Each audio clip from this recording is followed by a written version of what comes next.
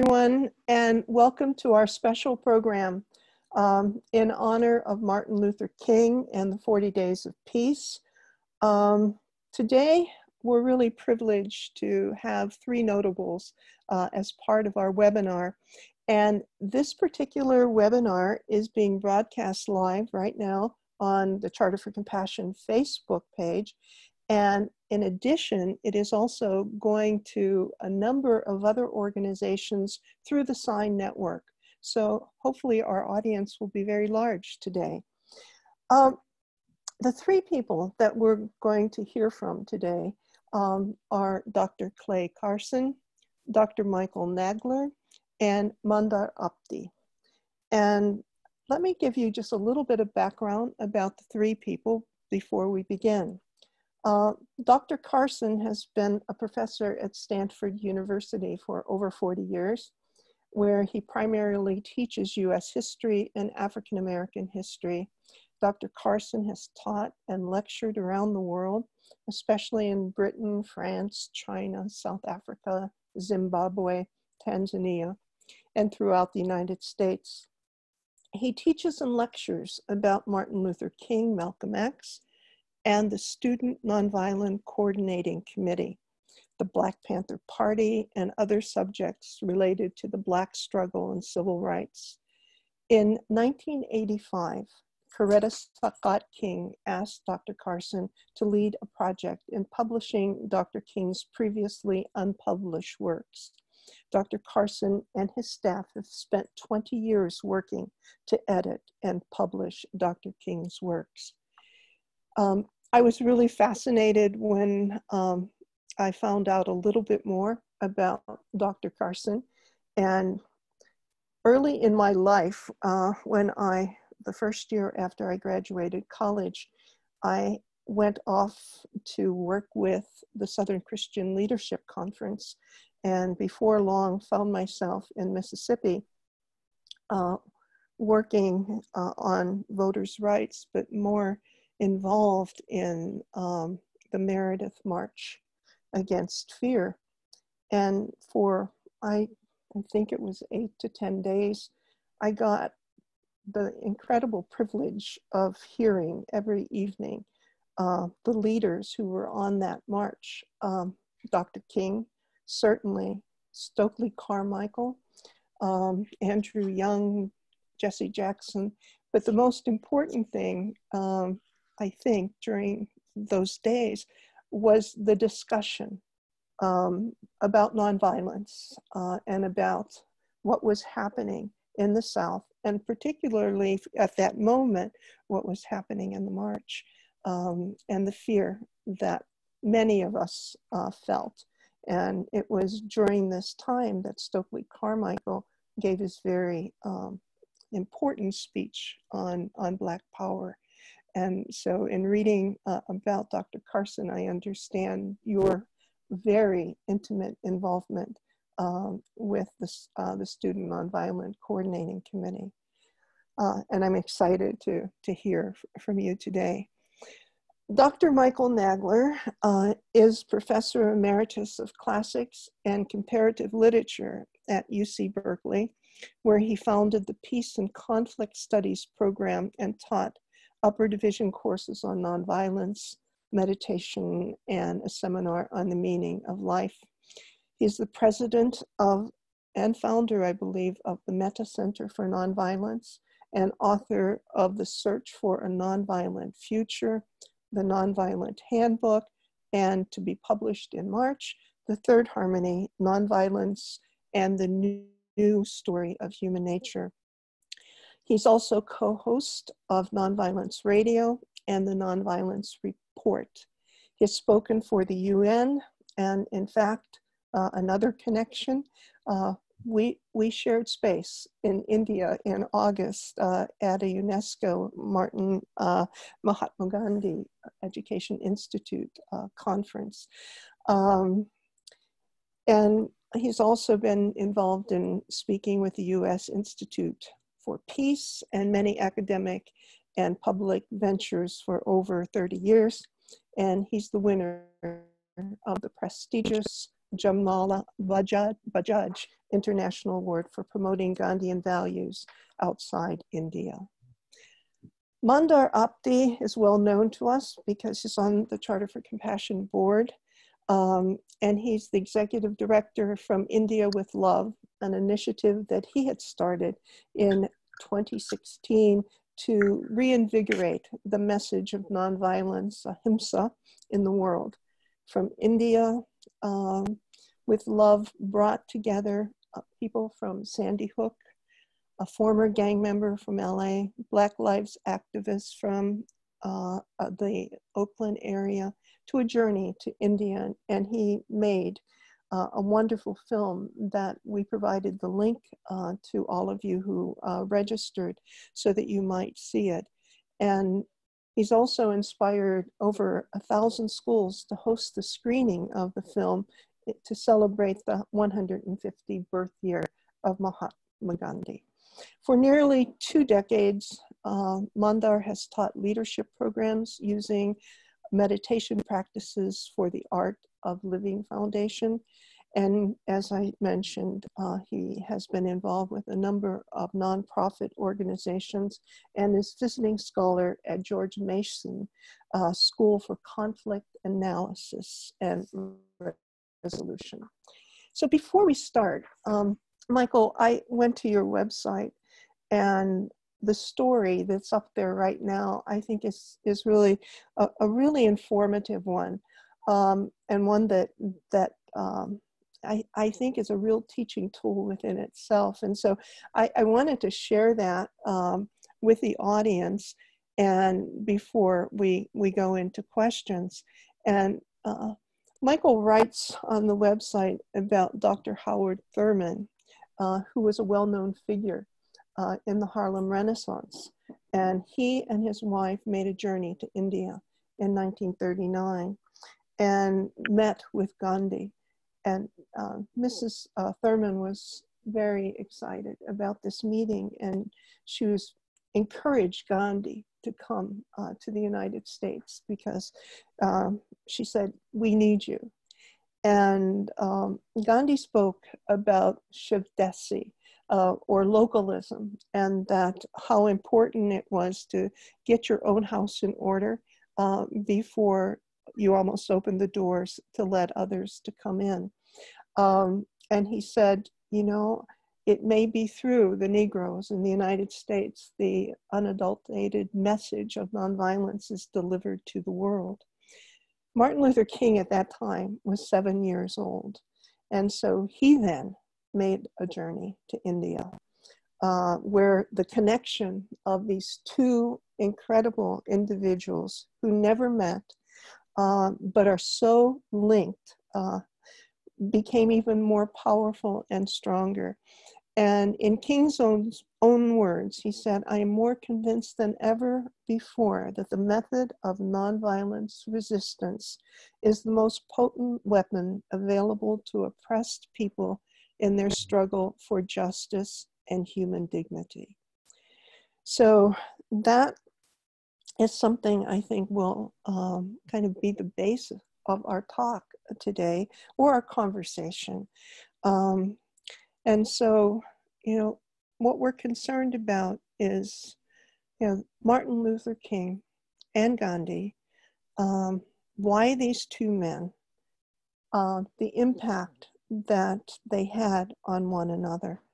So, Michael, what's special about India and the culture and wisdom that was able to produce a Gandhi? Here I am talking about India with Mandar Apte on the call and talking about MLK with Dr. Clay Carson on the call. You have to permit me for being a little bit embarrassed, but uh, I would say uh, uh, you know, I've been a, a, a, pretty thorough student of India's spiritual culture for nigh on to half a century now. And I, I think it's the only civilization in the world that did a continuous systematic study of spiritual life. I, I, I'm Jewish originally, so I'm, I'm reading this book called Meditation and Kabbalah, and it struck me forcibly how the Jews had this tremendous uh, spiritual yearning, as we all do as human beings. And the one thing that prevented them from really developing it was uh, the, the, the, diaspora, that the temple was destroyed, the people were scattered, and they didn't have that continuity because to express the full meaning of the spiritual nature of reality in a way that people can have access, at least intellectually, to that reality seems to take uh, centuries of uh, refining one's vocabulary, practicing, practicing. And so this is a relative statement, not an absolute statement, but it's, I think we can say that India has probably done the best job of preserving a spiritual culture. And the, of the, there were four basic paths that they laid out for spiritual awareness. Uh, the path of devotion, which is, was a specialty of the Christian religion, the, the path of knowledge, the path of action, and the path of meditation. And uh, I think to to I think we could say that before Gandhi, no one had really latched onto the path of action with the intensity and the fullness and the completeness that he had. And the result was that what he showed Dr. King was that Christianity could work. I mean, as uh, Michael Casey, the author of uh, Strangers to the City, has pointed out recently, the, the vocabulary of Christianity had been degraded to the point where the religion had hardly any practical significance in solving the bitter problems that we face in life. And, and Gandhi broke through that and said, no, this is exactly how you do it. So, I mean, my my meditation teacher, my spiritual teacher, always said that our goal uh, as a community, as an ashram, is to bring together the best of India and the best of the West. And I, I, think, in a way, that comes to a focus in the life of Martin Luther King because he, you know, he he got it. He caught what was the best in India's spiritual tradition as a practical tool. Now, I would just say, and I'm probably going on way too long, Marilyn. You can, you know, I, I would just say that um, in reality, nonviolence goes way beyond the struggle for oppressed people in their struggle for justice. That is perhaps its most dramatic application, but it can actually be applied in any compartment of life because that's that's the hardest thing I think for us in the West to grasp that this is an underlying power which you know doesn't like you know pick up pens and pencils and move things in the physical world but it impacts the or affects human consciousness. It affects consciousness in general and human consciousness in particular. So it's there for every one of us to use in every situation of life. I think it's critically important to know that oppressed people can uh, can achieve justice with it in a way that leaves the uh, conflicting parties in friendship in a relationship. I mean, we like to contrast sometimes the Indian freedom struggle, which you know cost the lives of a few thousand people, and uh, achieved freedom, with the one in Algeria where almost 10% of the population died in that struggle, and the relationship between the French and the Algerians was very strange, strained, and Algeria, does, you know, was a long way towards achieving democracy. Whereas in India, there was only a minuscule portion of the population that actually lost their life. India and uh, Britain are friends you know, relatively speaking.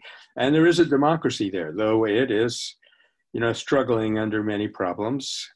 Uh, but it's such just a vastly more successful outcome. And, and this was long before we had this wonderful book by Erica Chenoweth and Maria Stephan showing that nonviolent struggles, and she just means struggles without the use of arms.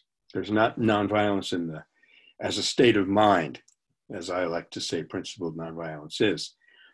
So those nonviolent struggles are twice as effective as violent ones in one third the time, and they're 10 times more likely to lead to democratic uh, entitlements after it succeeded. So um, I guess I'll stop here. I just want to say that, uh, yeah, nonviolence is, I think, probably the greatest discovery of our century, which we better make. right. You know, I, I just want to remind everyone your microphones are on, and please feel free to engage uh, one another in conversation.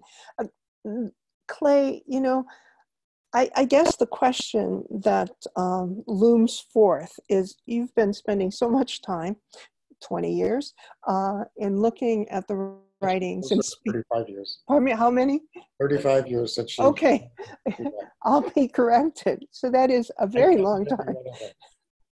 And so, um, what have you noted about um, through the speeches and the writings of King that relate back to what he saw in India? Well, I think first of all, I would say that um, Martin Luther King came gradually, like many of us, through experience to uh, an understanding of nonviolence. It wasn't like he uh, uh, did a deep study of, of Gandhi before uh, going there. He had heard of him, he had read some books, um, and uh, and I think it largely came through other people. Um, when he began uh, his work in Montgomery, uh, he he really didn't have uh, a deep understanding of it. Uh, I think it was someone else who actually first identified the Montgomery movement as as Gandhian. It was a, a woman writing in a newspaper, and and then it kind of kind of got picked up. And I think he probably said, "Well, people are calling this Gandhian. Maybe I, sh- I should find out more about it." uh, and I think at that point he went back to the books that he had, um, and he also had people like Bayard Rustin and others come to uh, Montgomery and uh, helped him, kind of gave him an advanced uh, accelerated course on, on nonviolence. Um, he was fortunate to have uh, James Lawson, who mm. spent time in India. Come uh, to Montgomery and, and advise him. And uh, so I think the major thing was that he, he was open to that, uh, that kind of mentorship. Um, and, and I think that the trip to India was a learning experience for him, mm. for him and for Coretta.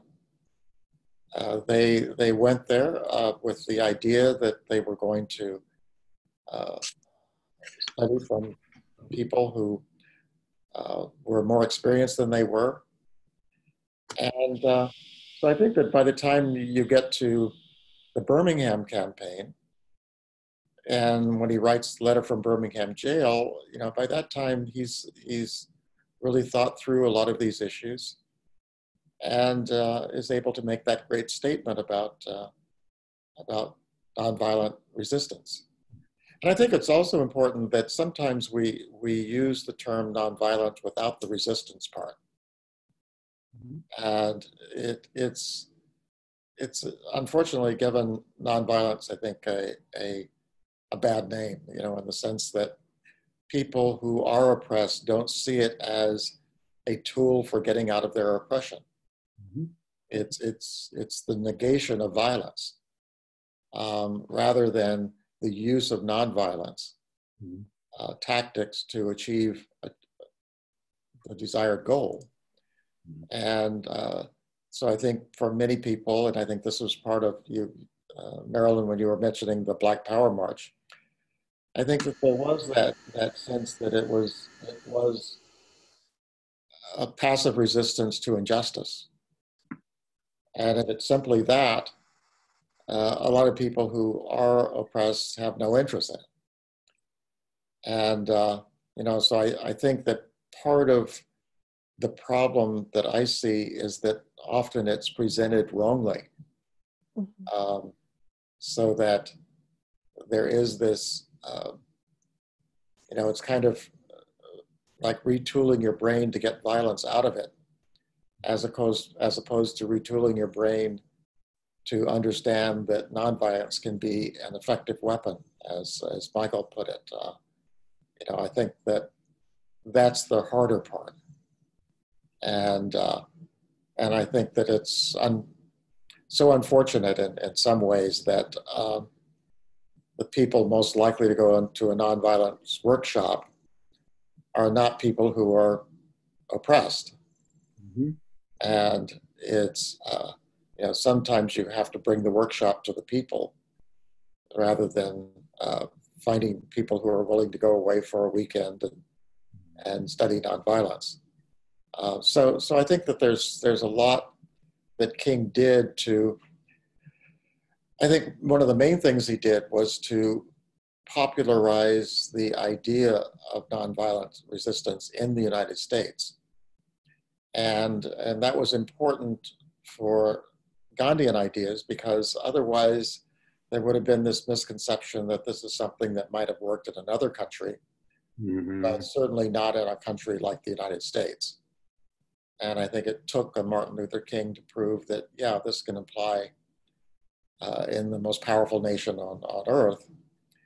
Um, it's not some mystical Eastern philosophy.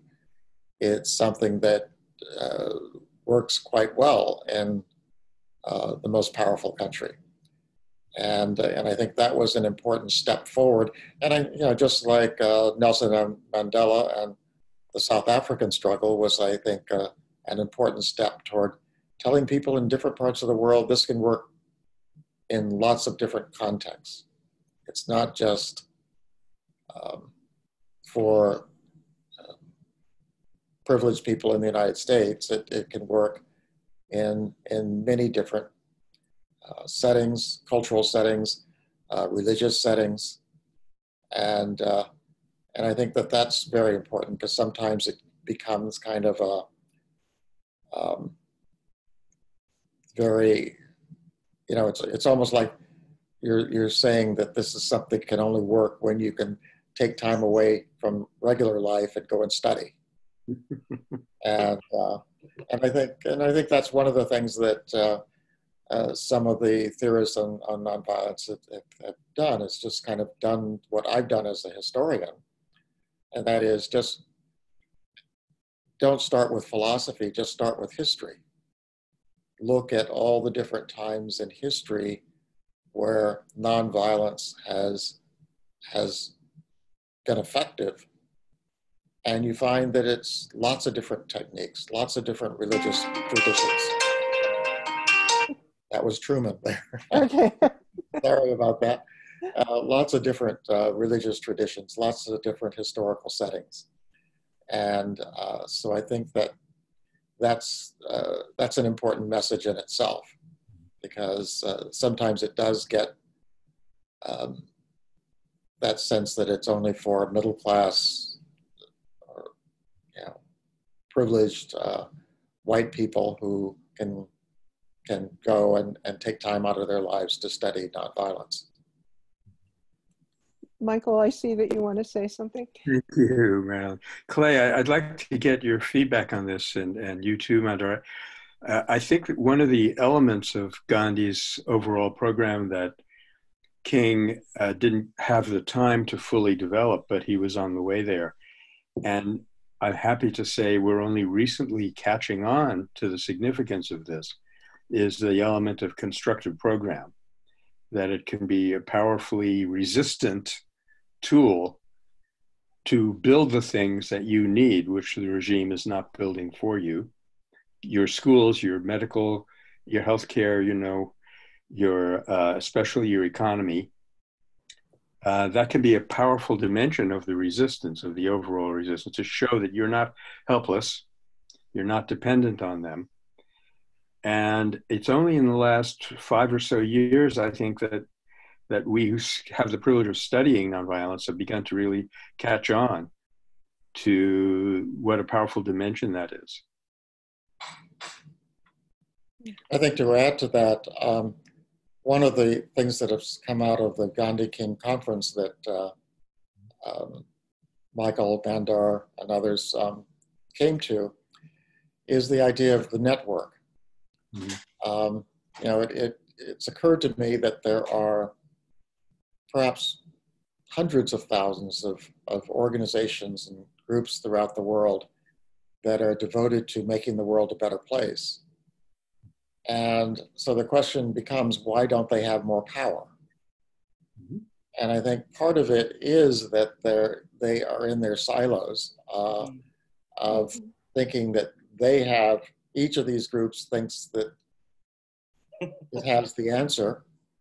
And, um, and they're really kind of in a competitive uh, world. I, I, think of it as venture capitalism for uh, human rights.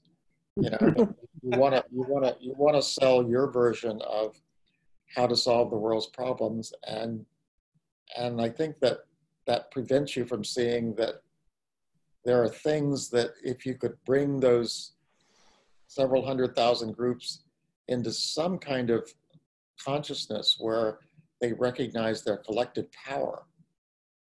Many of the tactics of nonviolence only work at scale, mm-hmm. only work you know, something like a boycott only works if lots of people do it. Mm-hmm. Uh, using economic pressure, uh, developing alternative economies. Uh, you know, all of these things only work if millions of people do it. And so a lot of the, the potential power of, of nonviolent action is, is lost simply because we don't cooperate. We don't we don't have a sense of our collective power. Um, one of the things that uh, Prasad mentions, who some of you know, um, uh, he, uh, he said that whenever I go into a room and ask people, raise your hands if you're in favor of human rights, and everybody raises their hand. And but the question is, why aren't, why then is it such a feeble concept? Why is it that human rights gets violated every day throughout the world? Um, and we don't have, we don't sense the power to do anything about it. Mm-hmm. And so I think that part of it is, is that we have to make this into a, a mass movement.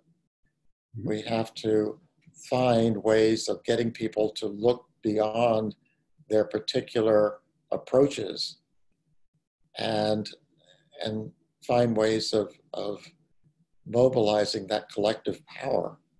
Mm-hmm. You know, just just to take one example, um, there are places in the world that routinely violate human rights. Simply not buying anything or going to those countries or having vacations in those countries and transferring our economic power to countries that do respect human rights is a, is a powerful weapon in itself. And uh, we've seen those kinds of, you know, the, the great boycott for farm workers, uh, uh, the, all the economic pressure that was put on South Africa by people throughout the world. You know, that's, that's what really can work in the modern world and we have the technological tools to do that. We're using one of them right now. Right.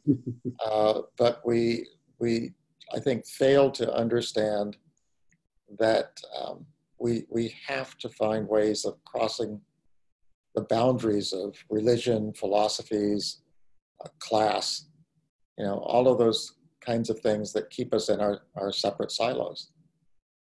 Right you know, at the charter, we say that we're a network of networks and we're constantly trying to, you know, build bridges um, across the silos.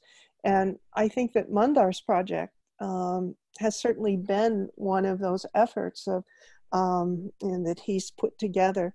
And so, Mundar, uh, I think that I'd like to ask you, um, and I, I see that what you're doing is a historical tactic to a certain extent because so many people don't understand either uh, the work uh, of Martin Luther King or of Gandhi don't understand, as, as we've been talking about, um, the full holistic nature of, um, of nonviolence and resistance.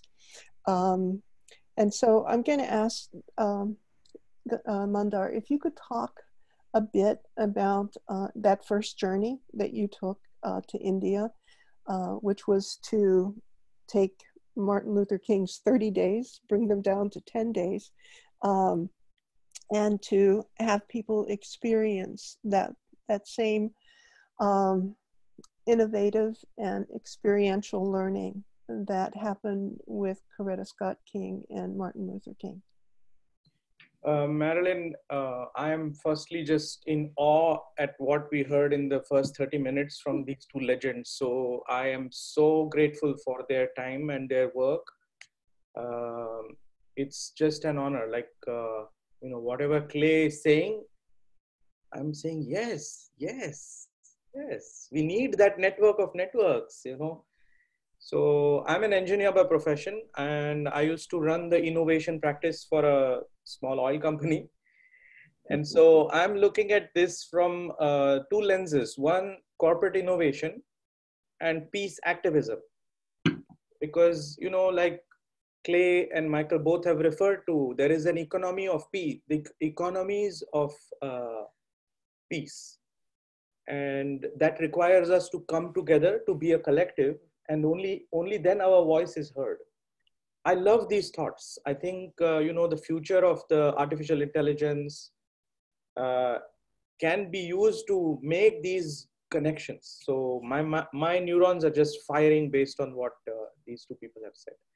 But going back four years this this week four years ago uh, i was reading uh, dr king's uh, autobiography that was edited by clay. And I was on a holiday in India for a month. And I read this uh, 30 pages, roughly 30 pages of uh, a chapter called Pilgrimage to India.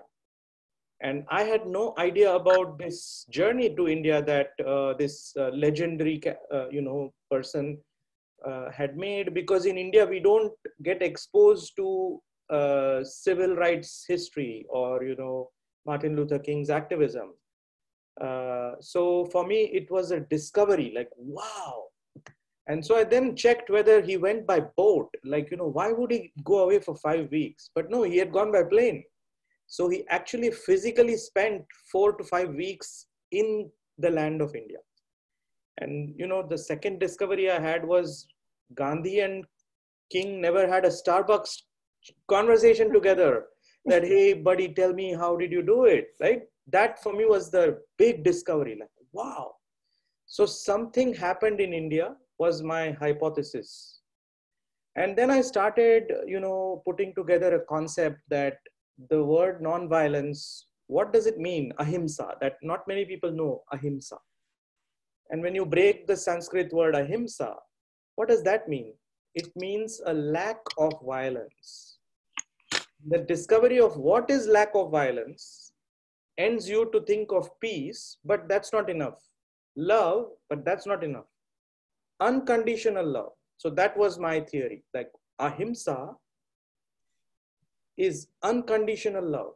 And when you come to that state of mind that Michael is talking about, that consciousness of this unconditional love complex, you're, uh, you know, you're blossomed into not thinking about me, me, mine, but we, we, ours. So you start relating to everything around you, start feeling a sense of belonging to everything around you. And all your actions, behaviors, thoughts come from that state of I belong to the world. So now this was my discovery. I had read the book. I knew the, you know, this world of ahimsa. Uh, and I felt like there is a time to make another journey where we bring the victims of violence because in the US, where I reside, we have become immune to violence because there is so much that yet another school incident, we look at it, we put flowers and candles and talk, but then we sadly move on. And so that was my like key moment of action. Like non-violence needs to have action. It cannot just be, uh, you know, sit and cry. And so that when I challenged myself that I am in India already, let me see if I can put my time in bringing victims of violence. And uh, that film uh, was produced in that one month vacation and it changed my life because when you spend time with you know victims of violence you start relating to that man this can happen to me. This can happen in my neighborhood school. And uh, i think that is that was my wake up call that the time i had holding these you know six brave individuals who took my call answered and spoke to me on facetime and zoom came to india in a 10 day uh, time period.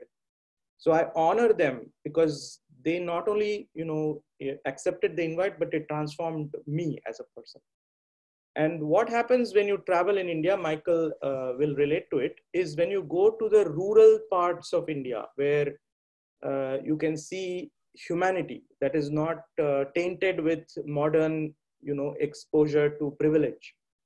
You see unconditional love. You see people sharing their food with you even if they don't have it you see people uh, doing acts of service as if it's their nature and duty. And that's what i think happen happens to anybody who goes to india is that is spirituality. Spirituality is beyond religion. It is our human nature. And so when you get exposed to that humanity i think that is when we wake up. That is when i woke up. That wow we we need to reinvigorate this humanity and so that for me was uh, you know martin luther king's uh, unknown little known journey to india that uh, uh we have to now uh, think what did he learn? And uh, those are many discoveries that you know we can make when you study non-violence as a yogic principle. That it is not sitting idle and sitting you know without any action but it is preparing your mind and consciousness so that you can act with full understanding around you. And one more thing i will say and people think about non-violence but michael will agree. I'm sure michael has also studied the same principles that i have studied through my teacher. Non-violence is at three levels. Thoughts speech and action. Most people get consumed by action. But the Indian philosophy of ahimsa starts with thoughts. Because when you do not have bad thoughts or negative thoughts, then violence drops away from your speech and action. And so that is where we need to use the ancient principles of yoga, breathing exercises, meditation practices, reflection, prayer, to make sure that our thoughts are in a state of ahimsa. Because once you guard your thought, then speech and action becomes very powerful. I think that is the power that uh, Dr. King had. Is every speech you hear, you are charged. It's like he's charging you with, uh, you know, valor and courage, which is the, the, the power you need to, to resist. Without that inner power, I think it's uh, just, it will dilute itself. So I believe that nonviolence starts with having this mindset of unconditional love and the power of my speech and action, which is a personal journey. It is a self discovery. So I would love to hear if Michael has any resonance with uh, you know my hypothesis and my theory.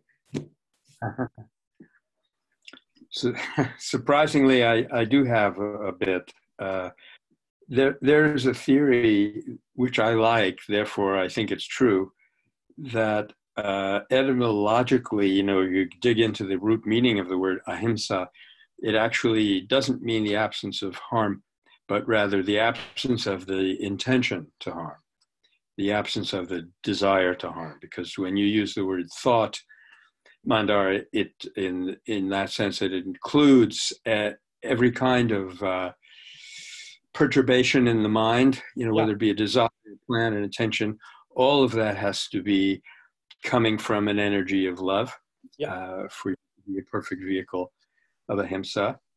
uh, there is a story that, and I, I, have never been able to completely verify this. Maybe you have a, a sense on this, Clay, that when Martin Luther King was in Mani Bhavan in Mumbai, where Gandhi used to go when he was in that city, uh, he insisted on spending the night in Gandhi's room, yeah. which was mm-hmm. completely mm-hmm. against the rules.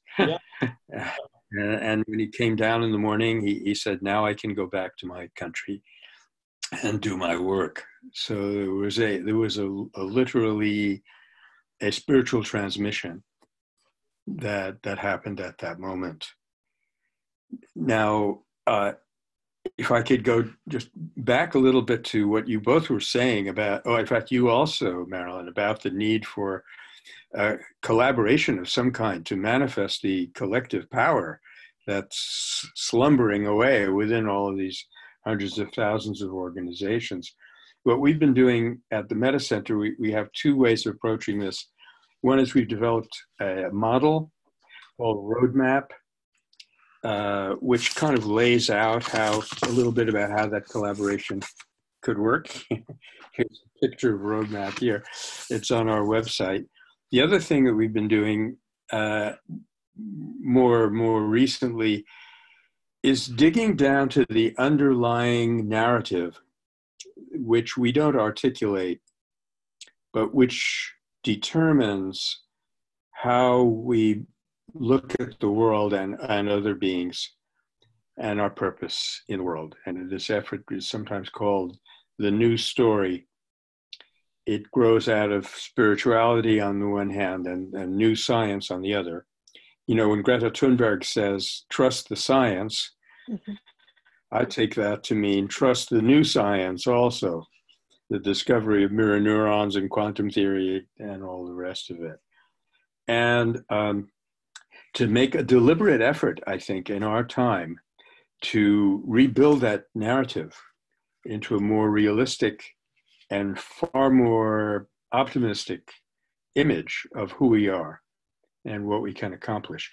I think that would affect everybody on this whole network, Clay, you know, of all these hundreds and thousand things that Paul Hawken talks out, talks about whether you're trying to save the whales or end militarism or get voting rights it's all coming from that n- new quote unquote image of who we are of human beings. And the fact that uh, nonviolence makes such a direct contribution to the elevation of human dignity no matter how you use it and no matter whether you win or lose quote unquote in your struggle it makes that powerful contribution. That is why it is so essential. And and why I think it was King himself who said the choice is no longer between violence and nonviolence, it's between nonviolence and non-existence. Yes. I, th- I think that one of the things I would add to your uh, what both of you are saying is that um, perhaps because I'm sitting here in Silicon Valley, mm-hmm. I I do think that um, a lot of the ultimate answer to these these kinds of questions about how do we prepare people to live in a new kind of world is that we have to use technology. Um, I, I, think there's no other choice that, that we have this miracle and it is something that even 50 years ago it would have seemed miraculous that I could uh, talk to somebody in, in India at no cost for as long as I want. Just mm-hmm. pick up my phone and talk, and and I, I do it often. Um, you know that that would have been inconceivable and uh, half a century ago. So we we make a mistake when we think that we have to bring you know, make education kind of the small group activity. I think that's one of the things that schools have. Uh, problems I have with schools is that the model of the school is you bring everyone into a classroom and somehow education happens there. and uh, I, I think that the new kind of education for our century is it comes into your home, it comes into your room, it comes into your head Mm. You know, it's it's in your it's in your cell phone. Mm. Uh, you know, I when I when I want to brush up on my Spanish, I go to my cell phone. I don't go to a classroom. I don't take a class. When I, when I want to find an answer to some technological problem, you know, just for example, how to build this network, I get on the, I, I took a class on network building, Mm. uh, taught at the University of Chicago. And so I think that we have the ability to bring lessons, education. You know, the, part, part of the untold story of, of the mass movement we had in the United States um, during the 50s and 60s were things like Highlander, uh, the citizenship education programs, uh, the freedom schools in Mississippi.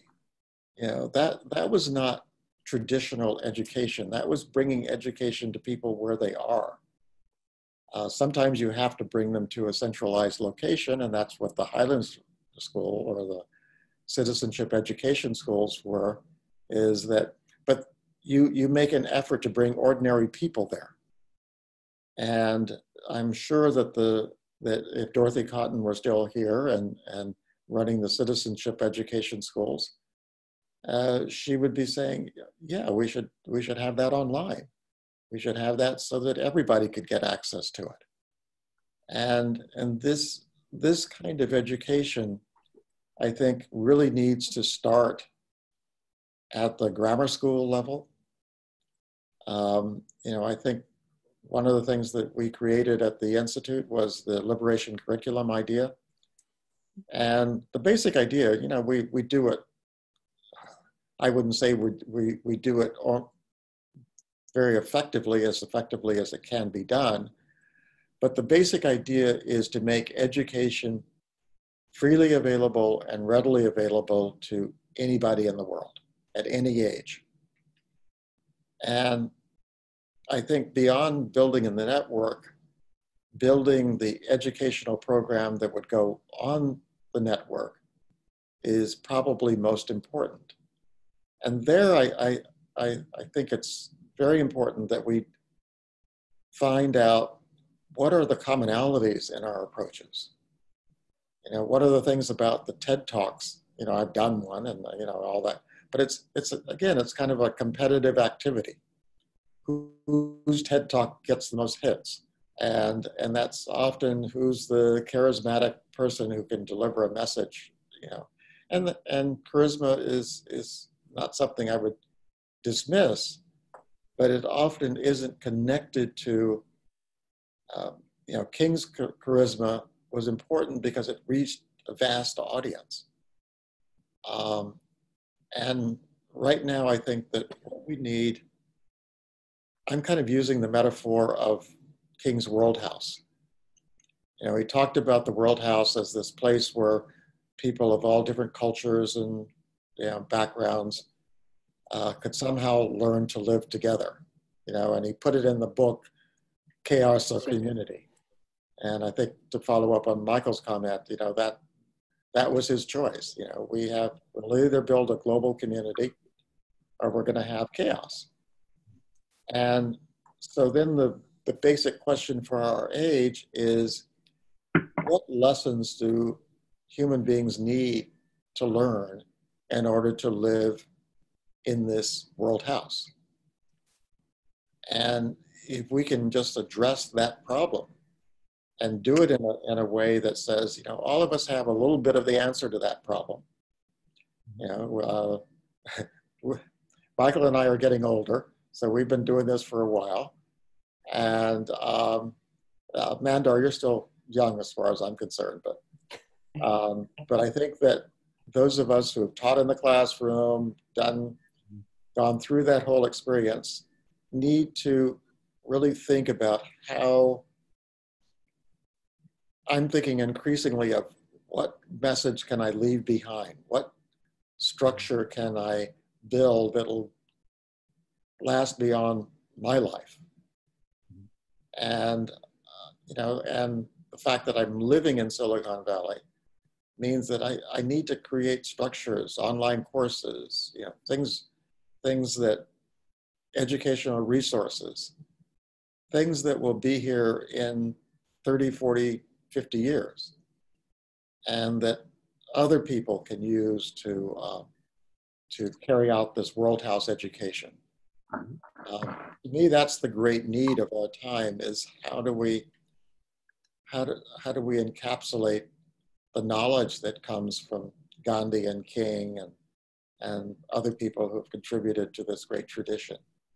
How can we uh, build uh, educational programs that make sense to, to people? And I, will just end on this. Uh, it's, it's, also, it's also important that we face this question of when the human rights ideals were articulated back in the Enlightenment, one of the results of that is that they developed the notion that the nation was going to be the tool to bring about human rights. You know, that's why we have a Declaration of Independence and the Declaration of the Rights of Man and Citizen. You know, there was this, this notion that somehow the nation state was, was going to be an effective tool for human rights. We have several hundred years of experience that says that that was a misconception. Nation states have a lot more priority, other priorities other than human rights.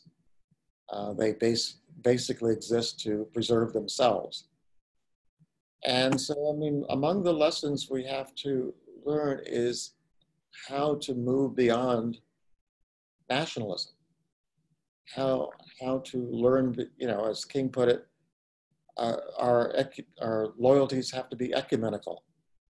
You know, we have to find some way of having a sense that our purpose on earth is not to build a nation, but to build human rights throughout the world. And that's a different project. And sometimes you're going to have to take on the nation in order to do that. And you have to move beyond patriotism and loyalty to a nation. And I think that that's a difficult message for our time. You know, we, we see what happens to people who uh, don't have that, that sense of, of nationalism. You know, you can't run for president like that. so hey uh, i have i have a point of view here. I think yes. what is uh, what is the need of the hour is an education that promotes human values. Exactly. And the human values transcend any barrier of let's say caste culture religion nationality. What are those human values? That are universal principles of unconditional love mutual respect not just tolerance mutual respect uh, compassion service. So education that stimulates your heart. I think that is what modern technology can also do is through experiential education. And uh, you know that is uh, in a way we have to go to the media because this is a media tool.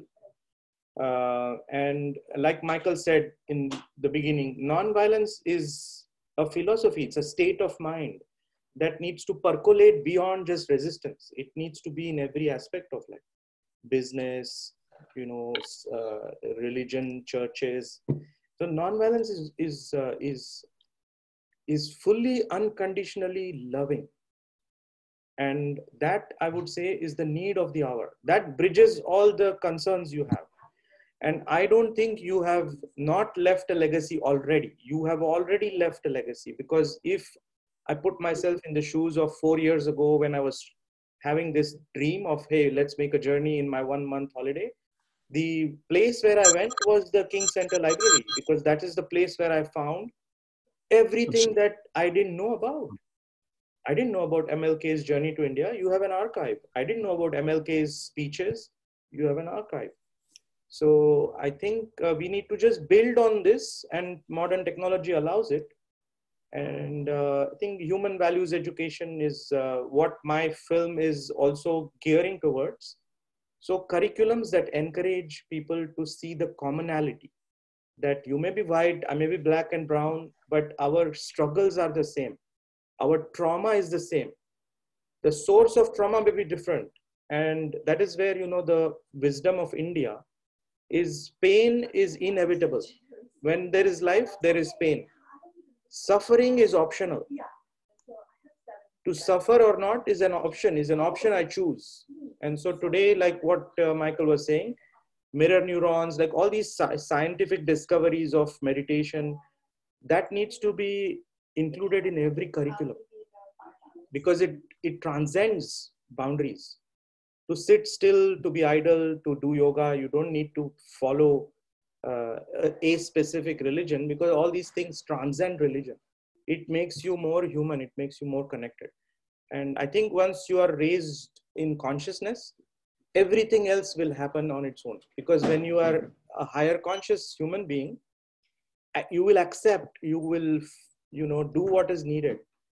Uh, that's i would say the wisdom of india is how to raise your consciousness. uh, through various different methodologies the four methodologies that uh, michael in, uh, enumerated uh, breathing meditation exercises simplest methodology because you're doing it anyway Mandar, can I just interrupt and say um, I haven't been the best of a facilitator here because we have some questions uh, for from people who have been on um, this webinar.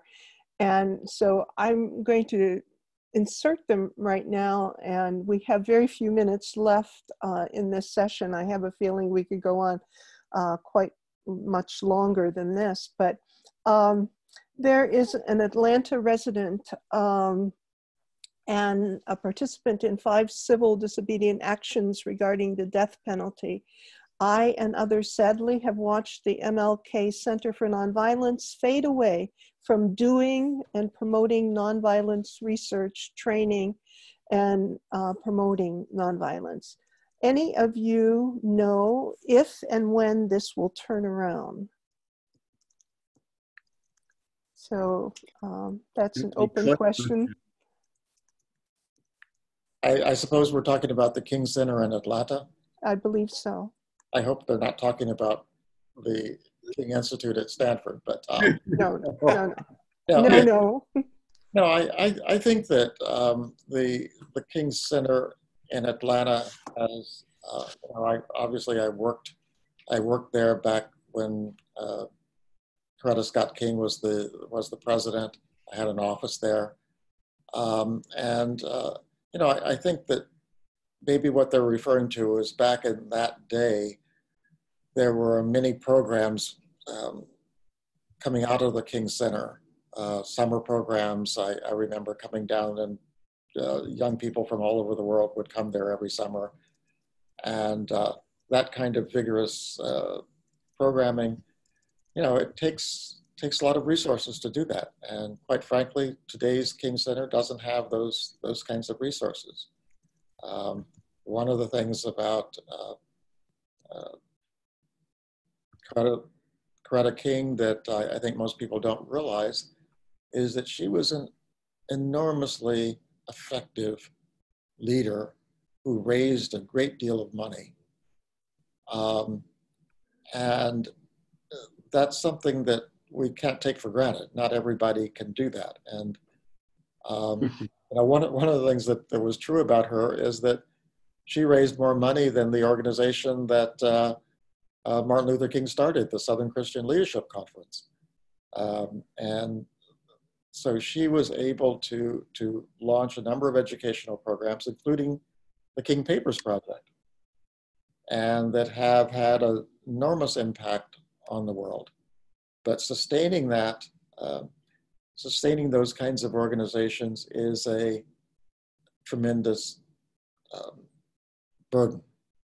You know, sustaining the King Institute is, I'm already worried about whether, how well it will survive after my retirement uh, later this year.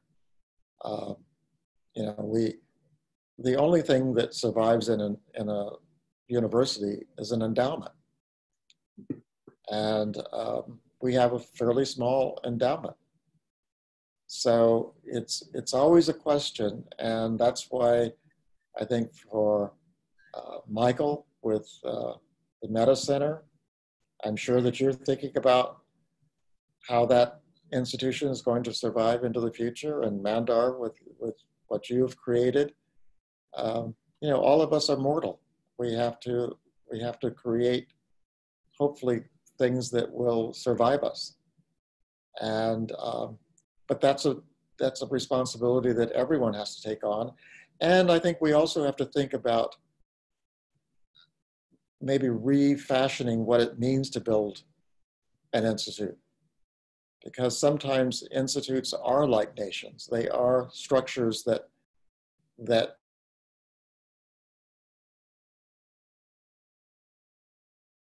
I think the I think we're over, huh? no, no, no, we're not over. Sorry, you cut out there, Clay. Oh, okay. I, I, hope that thought got across. That I, I think it did. And we are um, at the top of the hour, but we have one more question that I think, uh, if you wouldn't mind staying on, and if our audience needs to go, we totally understand that. But um, the question uh, is, um, it's a big one, but um, you know, I'm sure that we can condense the answer and uh, maybe continue it uh, through writing back and forth. Uh, the role of church women in guiding the values of the out front leaders in the civil rights movement. Uh, can you address that? Uh, power uh, differentiates, differentials were present. How can we lift up the relationship discipline practices that the women were guiding behind the scenes? Uh, Marilyn, I'm I'm sorry. Uh, I'm part of an organization called the Shanti Sena Network, mm-hmm. which is trying intervention, and they're having a call right now that I am oh, okay. supposed to be on. Also, Clay would be much much better at answering that question. Well, thank you so much, Michael, for so, for helping us on this webinar. We're most grateful. Good to talk to you, Michael, as always. As always, Clay, take care. Before you leave, Michael, can you do a plug-in for your own book and when we can look at it? Uh, and, uh, yeah, the, the third harmony is uh, we have advanced copies in our office, but you can uh, pre-order it at Amazon, and that helps to build sales. And that gets to the question that Clay was just raising: How do we get the money to continue the organization? So I've just been reading it very carefully with Stephanie and, and others, and I, and I do think it is, after all, a worthwhile book. So yeah. write to us at the center or pre-order it at Amazon. And we'll make certain we put it in the report when it goes out. Thank you, Michael. Thank you. Bye for now. Bye. Uh, so getting back to that question, mm-hmm. um, would you rephrase it? I, I'm sure. It says, can you ask the panel how they see the role of the church women in guiding the oh, values okay. of yeah, the out front leaders in the civil rights I movement? I would generalize from that. One of the reasons why I'm working on a book called Coretta and Martin right now is that I think that it's not just the Coretta story, it's the story of a huge number of women who played behind the scenes roles in what we call the civil rights movement, which I, I don't like that term because it assumes that something started and ended. But, um, but when I look at Coretta, she was an activist before she met Martin.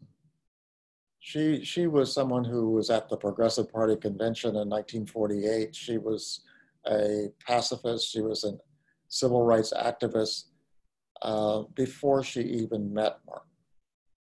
So to me, one of the problems of what that we faced in the 1950s and 60s is that we underutilize the power of women like Coretta. You know, that, um, that, that was just a, a structural problem in our society, you know, that, that women were expected to defer their careers uh, you know, Martin wanted her to stay at home and raise kids. And, uh, you know, that was, that was not something unique to him. It was something that uh, Gandhi had uh, some definite problems along those lines, of putting the priority on his career as opposed to uh, his wife and, uh, and, and his children. And so, so I think that that that's one of the reasons why when we tell the story of the Black freedom struggle, we're also telling the story of women's liberation. That as a necessary component of that struggle, other kinds of liberation always take place within a liberation struggle. That you begin to understand that to maximize the power of people, you have to look at people differently. You have to say, you know, this, this person can do more uh, if we freed them from the expectations of society. Um, Greta is a good example. You know, sometimes we look, oh, she's a child. Well, you know, she's done more than any adult I can think of to bring attention to the problems of our environment. And when we look at, at the freedom struggles that took place in the 60s, the teenagers who preceded Rosa Parks, the teenagers who launched the sit ins, the teenagers who mm-hmm. uh, made it possible for King to win his greatest victory in Birmingham. These are kids. So we have to start rethinking you know, when we think about people power, people come in all sizes and all ages and, you know, all um, characteristics. And part of what we need to do if we are going to liberate the world is understand that uh, we have to we have to see them in, in a different light. We have to see their potential as people who can bring about change. We have to sometimes listen to them you know, and uh, take seriously what they say. You know, I, I think that, that that is one of the, the great needs, and that's why, as I said, education really has to start with child rearing. You know, how can we how can we raise children in a way that makes them capable of living in the world house and and experts at that more expert than we are so uh, so it's it's a big challenge and and i think the most important part of the challenge is is getting uh, getting through that it takes all on board you know if you yeah. if you're trying to trying to achieve a goal and you have a limited number of people, you have to maximize the capabilities of everyone. Thank you so much. Um, you know, I, am most grateful for a number of things that uh, Michael and Clay Mandar shared. Um, I think you've given a new challenge to the Charter for Compassion um, you know, the reminder of the of King's World House, um, a reminder of Myles Horton and the Highlander Center and all of the incredible work that went on there. Uh, the Mississippi Freedom Schools, um, these were, you know, such important parts of our history um, that so many people don't know about. And um, you know, we're always told that uh, if if we're good students of history, uh, we can find out a lot so that we don't have to repeat mistakes. Um, and I think you've offered some incredible challenges uh, to us today, and I hope that uh, you would be open if we knocked on all of your doors again um, to kind of help, uh, kind of what reframe uh, some of the the efforts that we're all um, doing and you know build that network and build that collaboration. So i'm most grateful for everything um, that you've done uh, and certainly that you're doing um, in all cases. And, and i remember that martin luther king i believe said that injustice anywhere is a threat to justice anywhere um, so it's the challenge that, that he gave to all of us. Um, and I thank you for helping to move forward with us. it's wonderful talking to you, Marilyn. And, and Mandar, uh, we need to get back together. Um, I, I, I think that getting together on through technology is one thing, seeing you in person. Uh, so Marilyn, come up to come up to Stanford and visit. I will. Thank Thank you. you. Thank you, Mandar. Thanks, everyone. And we'll be sending out a report uh, along with the link to this recording.